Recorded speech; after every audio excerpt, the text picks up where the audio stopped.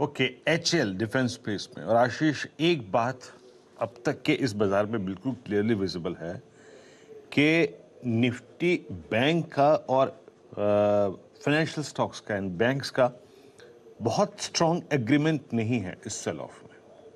पता है आशीष, आज की कैंडल का लो क्या है? जनरेटर साहब प्लीज़ निफ्टी बैंक का कैंडल स्टिक चार्ट रखिएगा। आज की कैंडल का लो है three seven nine four three और जो हमारी वो 23 अगस्त की कैंडल का लो था वो था करीब करीब three seven nine five zero similar similar low अभी तक की कैंडल देख के अगर पहली चीज़ प्रियम्प्ट करनी हो तो वो ये है कि आपके बैंक्स और आपका जो फाइनेंशियल सर्विसेज़ स्टॉक्स जो हैं वो बहुत हद तक पार्टिसिपेट नहीं कर रहे हैं। Rahul Sharma GeM financial services से जुड़ चुके हैं। राहुल आ, अभी तक बैंक्स थोड़े से अगर आप देखें टिके हुए हैं डगमगाए नहीं हैं। आपकी अप्रोच मार्केट्स में और इस बिग डिप में क्या है? Uh, सबसे पहले तो बड़े गैप डाउन के बाद में जनरली थोड़ा वेट करना सही रणनीति रहती है। तो यहाँ पर इंडेक्स में uh, हमें लगता है कि थोड़ा वेट एंड वॉच करना चाहिए। ओवरऑल मुझे लगता है कि सत्रह दो का लेवल निफ्टी में बहुत इंपॉर्टेंट है। सत्रह दो जब तक क्लोजिंग बेसिस पे इंटैक्ट है आज बाउंस बैक आने की पूरी की पूरी यहाँ पर जगह दिखती है। जो बाउंस बैक कहाँ तक लगता है? सत्रह चार सौ तक मुझे लगता है बाउंस बैक देखने को मिल सकता है second half of the session में।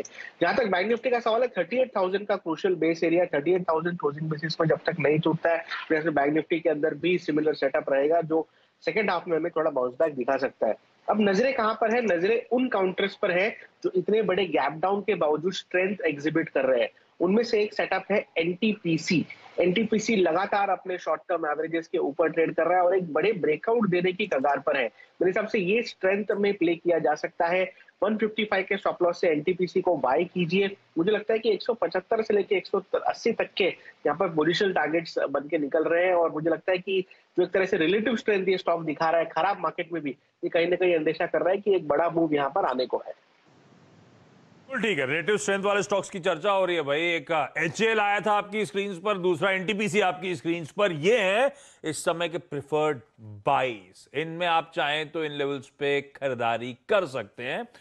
और कल ही कल ही नहीं फ्राइडे को ही सुबह हम लोग हाईलाइट करते सितंबर सीरीज़ और पिछले कुछ हिस्टोरिकल मूव्स और जानी जाती बड़े बड़े मूव्स के लिए।